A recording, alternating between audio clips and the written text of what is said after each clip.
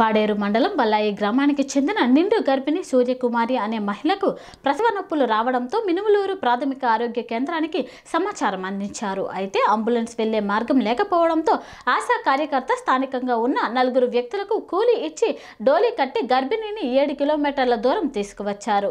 రాళ్ళు రప్పలు బురదలో నడుచుకుంటూ తీసుకుని వచ్చినట్లు ఆశా కార్యకర్త ఆవేదన వ్యక్తం చేశారు. ప్రస్తుతం గర్భిణి సూర్యకుమారి మినుములూరు ప్రాథమిక ఆరోగ్య కేంద్రంలో వైద్య సేవలు పొందుతున్నారు.